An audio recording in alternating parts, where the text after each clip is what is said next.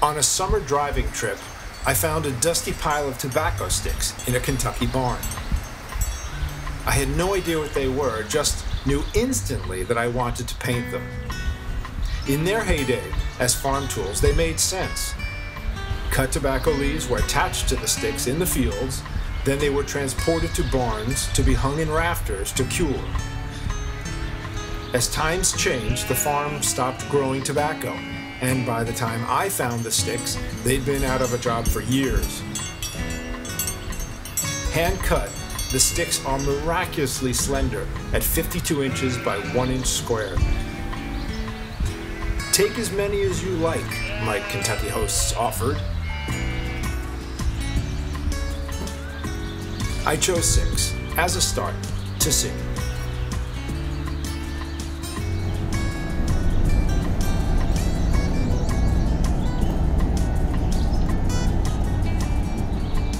Once back in the Big Apple, it was time for a bath.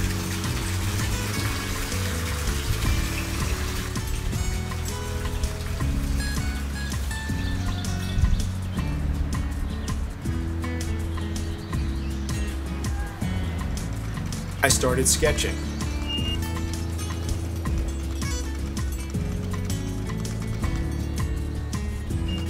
Then painted a special stick for the lady of the farm.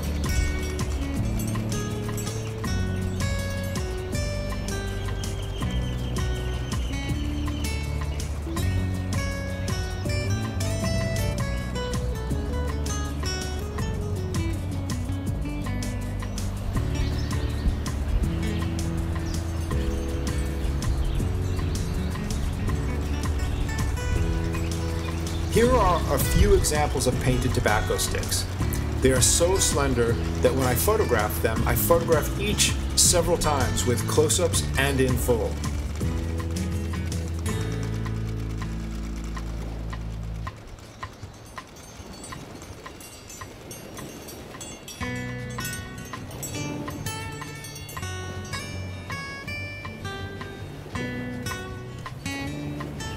Less than one year after discovering them in the Kentucky barn of friends, they won a New York City based Art Craft Festival Award for the most successful use of recycled materials.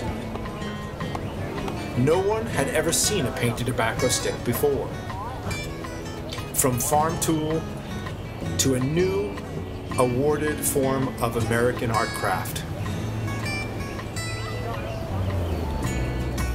I call that a successful driving trip.